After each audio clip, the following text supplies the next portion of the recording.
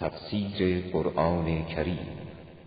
اعوذ بالله من الشیطان الرجیم. بسم الله الرحمن الرحیم. الحمد لله رب العالمین. بعدد ما احاط به علمه. الهی انطقنی بالهدى و الهمن التقوا زر سفره قرآن از اول که شروع کردیم به جزء 22 آیه به آیه تلاوت. بنده هم 4 5 دقیقه تقریبا یه تفسیری میگم. فعلا سوره فاطر هستیم. قبل از سوره یاسین. و جزء 22 و الان آیه 13 بشنوید. یولج اللیل فی النهار و یولج النهار فی اللیل و سخر الشمس والقمر كل یجری لأجل مسمى ذلكم الله ربكم له الملك والذين تدعون من دونه ما يملكون من قطمیر خداوند که شب را در روز روز را در شب فرو می کند یعنی گاهی شب بخشی از شب وارد روز بشه گاهی بخشی از روز گاهی شبا طولانی میشه گاهی روزها طولانی میشه. بلند و کوتاهی شب و روز کار خداست. و سخر الشمس و القمر خورشید و ماه را تسخیر می‌کنه و همه اینها یجری لعجل مسمى. خورشید و ماه جریان دارن و عجل دارن.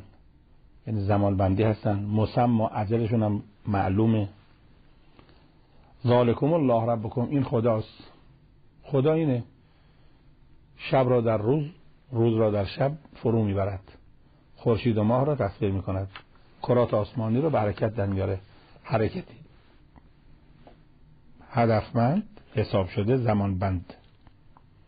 ذالکم الله این خداست. حالا غیر خدا چه می‌کنه؟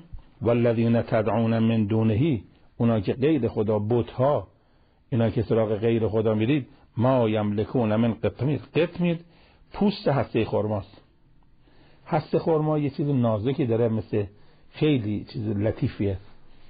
گوشت خرما که معلومه. بین گوشت خرما و هسته خرما یه پوست نازکیه.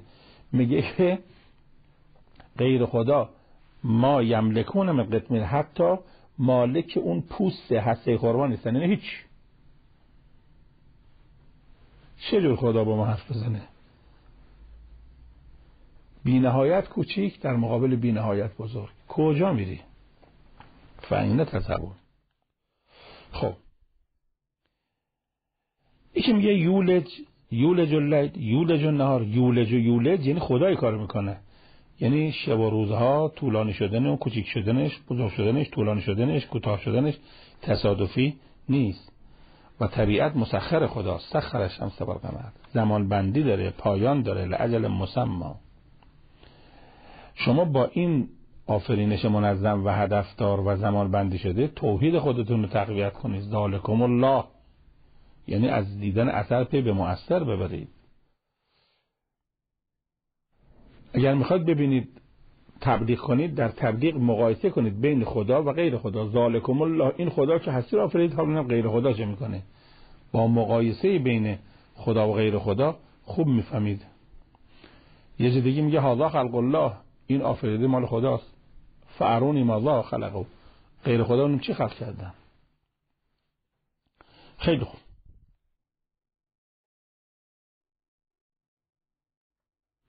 انسان به کجا میره؟ ما یملکون من قطمیر خدای که همه چیزی دستشه رها می‌کنه میره سراغ بوتی که هیچی دستش نیست. انسان گاهی بیعقلیش به کجا کشیده میشه. رهبر عادل رها می‌کنه میره دنبال فاسق. رفیق صالح رها می‌کنه میره رفیق فاسد. لغم حلال رها می‌کنه میره لغم حرام. چرا همچینه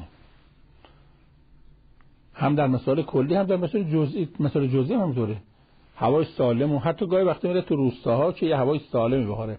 تو همون روستا هم سیگار می‌کشه. و دود می‌خواستی که تو شهر بود. یعنی پول میده هوای سالم رو دودی می‌کنه می‌خوره. چرا همچینیم آیه 14 بشنوید. این تدعوهم لا يسمعوا دعاءكم ولو سمعوا ما استجابوا لكم ويوم القيامة يكفرون بشرككم ولا ينبئك مثل خبیر ای مردمی که سراغ غیر خدا میرید. إن تدعوهم اگر این بوت اون بوت ها رو بخوانید هرچی راست خدا گریه کنید راست بوت ها گریه کنید لا یسمع دعاکم. اون مجسمه سنگه. مناجات شما رو نمیشنوه. ولو سمعو لو سمعو. لو یعنی نمیشنوه. حالا اگر اگر بشنوه مستجابو. نمی‌تونه جواب مثبت داده به شما. خب این مال دنیاتون قیامت چی؟ میگه و یوم القیامت یکفرون به شرک کن روز قیامت هم اگر از این سنگا بپرسید سنگا هم شما قبول ندارن. بارها در قرآن داریم که روز قیامت عابد و معبود یعنی بت پرست و بت. احضار میشن خدا میگه شما گفتید این پرستش کن. میگه نه ما کی گفتیم؟ سبحانه منزهی تو. به عیسی میگه انت قلت للناس اتخذونی و امی الهین اثنین عیسی تو به مردم گفتی بگن عیسی خداست؟ استغفر الله. به ملائکه میگه ای ملائکه شماها به به مردم گفتید ملائکه رو پس میگن سبحانه که منزه تو. بل یعبدون الجن.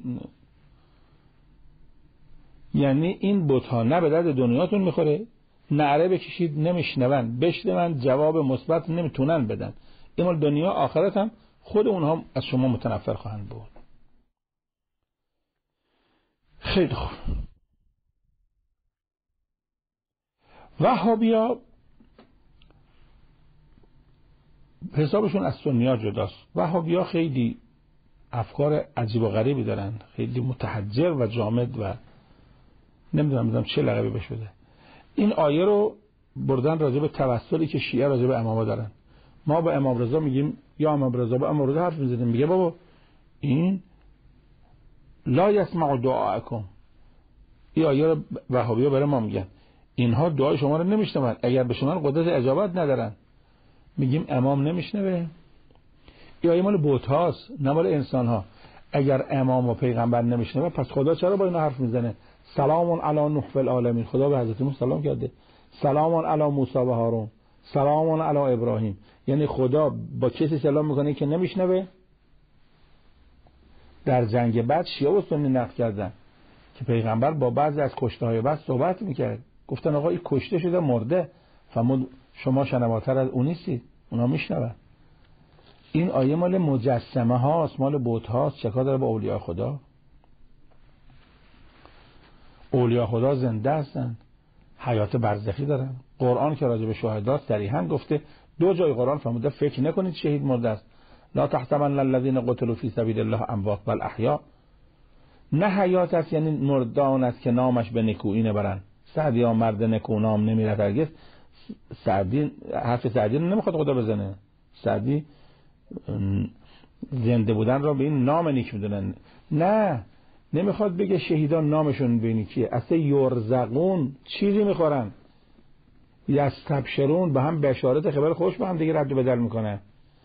فرحین اینا که میگم همه قرآن است. قرآن میگه فرحین یعنی شهدا با هم مسرورن. فرحین یستبشرون یرزقون. بشارت به هم میدن خوشوفش به هم می‌کنن شادن چیزی می‌خورن. یعنی حیات واقعی دارن. یا ابوالفضل یا حسین چه داره؟ به بتها اونها جمادن اونها انسانن. خدا با اولیاء خدا سلام کرده. بس سلام علی المرسلین. به همه پیغمبر سلام کرده. اصلا در نماز مگه ما نمیگیم السلام علی السلام علیک ایها النبی؟ یعنی به مرده سلام می‌کنیم به سنگ سلام می‌کنیم. بگذاریم. خب بعد میفرماد که دیگه بشر گاهی به جاهایی میزه که خدای حی قیوم رها می‌کنه میره سراغ مجسمه سنگی که با دست خودش تراشیده. قرآن میگه تو خود تراشیدی. اتعبدون ما تنحتون؟ با دست خودت تراشیدی. حالا توش گیر کردی؟ البته ما هم تو هستیم ما. گاهی با دست خودمون یه آداب و رسومی رو میترشیم بعد تو آداب و رسوم گیر می‌کنیم. میگیم رسم ما از تو عرصی تو باشه تو عزای تو باشه. این رسم کجا پیدا شد؟ خودمون با آداب و رسوم خلق کردیم خودمون توش گیر کردیم. ولا ینبئک مثل خبیر یعنی هیچ کس مثل خدا خبیر نیست و تو رو به حقیقت کارها آگاه نمی‌کنه. خبر مهم از اهل خبره بپرسی. اخبار قیامت رو جز از طریق وحی نمیشه گرفت. بسیار خوب. این آیه 14 هم تمام. در این جلسه آیه 13 و 14 رو تمام کردیم. و السلام علیکم و رحمت الله.